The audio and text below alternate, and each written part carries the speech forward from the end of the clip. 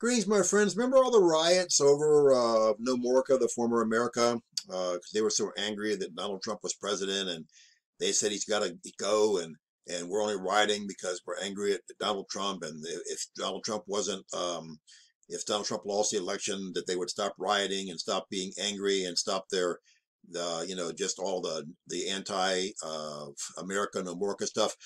the question is this: riddle me this. Joe Biden just won the election, uh, unless uh, by some remote chance it gets overturned, which I highly doubt. So why are Antifa and Black Lives Matter uh, chanting "Burn it down" across America and major U.S. cities? Let's go to Scripture. Luke chapter 21, verse 25 is always a King James Version Bible. This is the last day scripture, by the way. This is what's happening in the last days when Christ is about to return for his bride at the rapture, and the tribulation begins after that. And there shall be signs in the sun, and in the moon, and in the stars, and upon the earth, distress of nations with perplexity, the sea and the waves roaring.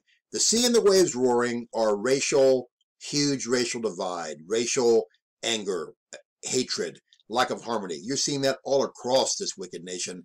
You're seeing it across the world, but especially here in Nomorica. It's not going away. Understand this is just the beginning of the whole thing.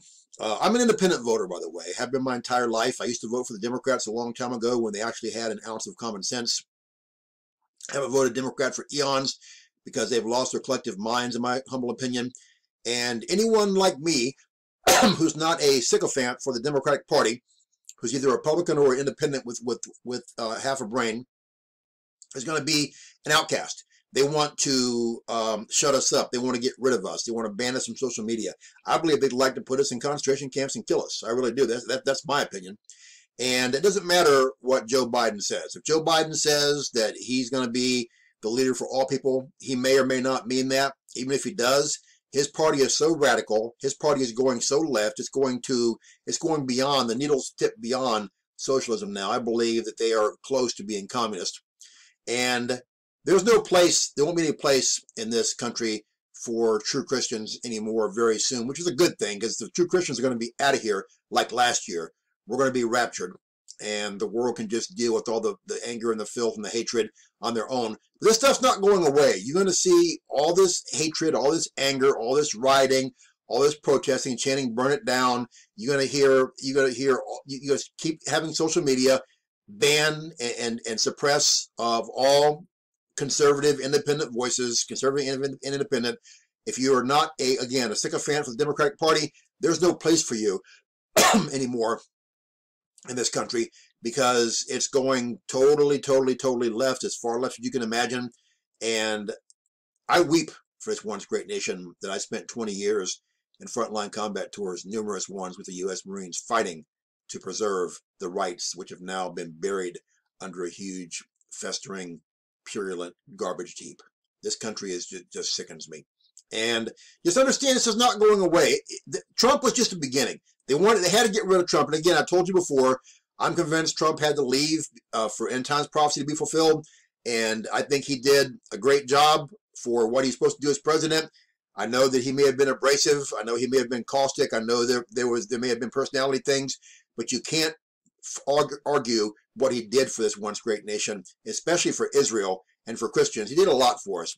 But God brings up, raises up leaders, he, he brings them down, and this country's turned its back on God so many times. So don't even think that God is going to support uh, Nomorica or the former America anymore. America, Nomorica, is the great whore of Babylon. It's got a date with destruction at God's hand in the very near future. You can just deal with it. It's just the way that it is. And I just can't stand again, what this country's become. It's so sad. It's so sickening. It's so depressing. It's just so angering. And again, don't, don't, again, just expect all this violence to continue on because they don't want peace. They want violence. They want overthrow. They want to turn the entire, look at the history of communism. Look at Russia. Look at China. Look at Cambodia under Pol Pot. It goes on and on and on. Just look throughout history and see how it's run. Look at what's going to be happening in the country over here in, in the next uh, near future, and you'll see what I'm talking about. This is a Christian channel, so if you don't know Jesus Christ as Lord and Savior and you want to know Him, pray the prayer, do the six steps I have in the box below the video. If you like prayer, contact me. I pray for you every day and look up True Christians. Our redemption draweth nigh. We fly soon. May God bless you. Share this video and wake up. Stop focusing on elections. Stop focusing on, on, on the world governments. Eh, both here in Nomorica and the rest of the world. Focus on Jesus Christ. Our time is short. True Christians need to be witnessing and praying for the lost night and day, getting the word out before we're silenced totally across social media everywhere else because uh, the time's coming and it's a wake up call. And also remember, be careful what you ask for, uh, people in America, because you just might get it. I think many of you will be shocked and, and surprised when you find out what's actually going to be happening to you in the coming months and years. Bye.